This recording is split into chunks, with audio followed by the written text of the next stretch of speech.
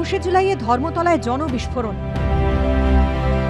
এই মহাসমাবেশে সামিল হতে মঙ্গলবারই বাঁকুড়া থেকে রওনা দেন তৃণমূলের বহিষ্কৃত এক নেত্রী তথা নির্দল কাউন্সিলর। বাঁকুড়া শহর থেকে পাঁচটি বাসে অনুগামীদের নিয়ে কলকাতায় আসেন বাঁকুড়া পুরসভার আঠারো নম্বর ওয়ার্ডের নির্দল কাউন্সিলর অনন্যা রায় চক্রবর্তী। কিন্তু প্রতিটি বাসের গায়ে তৃণমূলের ফ্লেক্স মমতা বন্দ্যোপাধ্যায়ের ছবি সঙ্গে কর্মীদের মুখে তৃণমূলের স্লোগান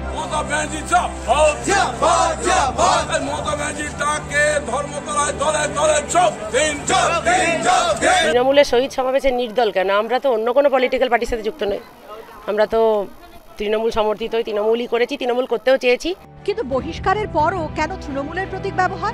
এ নিয়ে প্রশ্ন তুলেছে জেলা তৃণমূল নেতৃত্ব। শহীদদের প্রতি শ্রদ্ধা জানাবার জন্য যায় সেটাতে তো আমাদের কোনো আপত্তি নেই। কিন্তু আমরা যেটা শুনছি তারা নাকি পার্টির ব্যানার টেনার লাগিয়ে বা সিম্বল লাগিয়ে যাচ্ছে।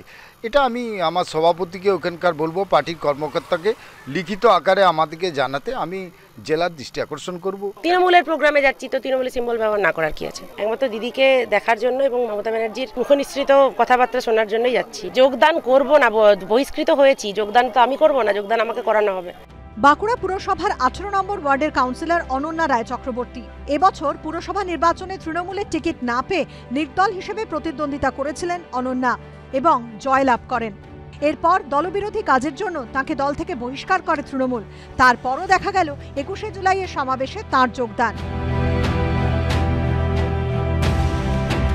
তৃণমূল দলটা রঙ্গমঞ্চে পরিণত হয়েছে।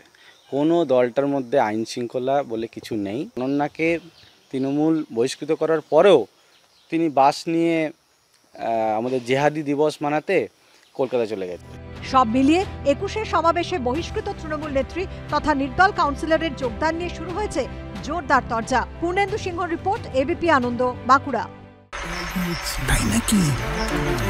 বাংলা গুজব চায় না বাংলা খবর চায়। বাংলা খবর বাংলার খবর। শুনতে পাচ্ছি না বল না। হ্যালো। ব্যাপার নয় আজকে বাংলা গলাবাজি চায় না বাংলা খবর চায়। বাংলা খবর বাংলার খবর। বাংলা ঝামেলা চায় না বাংলা খবর চায়। বাংলা খবর বাংলার খবর। বাংলা চেঁচামেচি চায় না বাংলা খবর চায়। বাংলা খবর বাংলার খবর। তাই নাকি? বাংলা গুজব চায় না বাংলা খবর চায়। বাংলা খবর বাংলার খবর। শুনতে পাচ্ছি না বল না। হ্যালো?